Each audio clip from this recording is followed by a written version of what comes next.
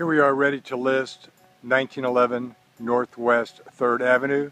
As you can see, we put a privacy fence up around this house so that we can have an inner courtyard before entering this beautiful, totally renovated, reconstructed space. As we go through the gateway, we see now we've got the interior courtyard completely finished.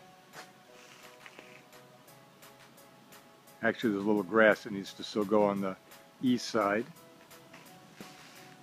As we enter into the house, we now see they were almost ready to list this house. We've got the ceiling fanned up and we've got the chandelier for the dining area. And of course you can see we finished installing the granite countertop with the brand new appliances. And even the dishwasher doesn't show any controls until you pull the handle out. Again, top of the line craftsmanship for this wonderful rehab house in West Wilton. As we now go down the main hallway and into the first bedroom, we see that the house is totally completed. Just need a final cleanup till we list this property. As we go out of the first bedroom and across the hallway to the second bath, we see that this is completely finished at this point. Wonderful flooring, wonderful bathtub, wonderful countertop with cherry the master bedroom. We go into the dressing area and to the east we have the large walk-in closet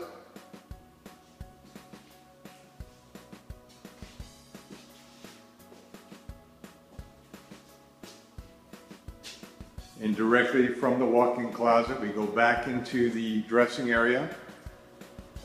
And we have the double vanity, actually two separate vanities.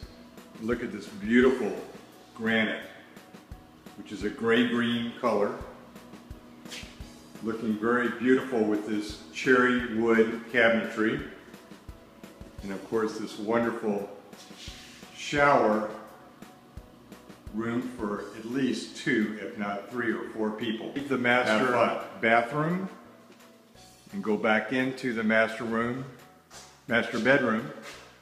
We can then proceed back up the hallway towards the and living area. Get to the living area, of course, the heavy drama with this nice fenced-in patio space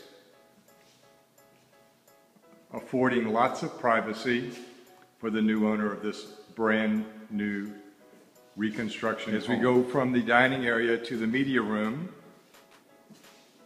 we can see off the media room the water behind the house, as well as this wonderful patio decking.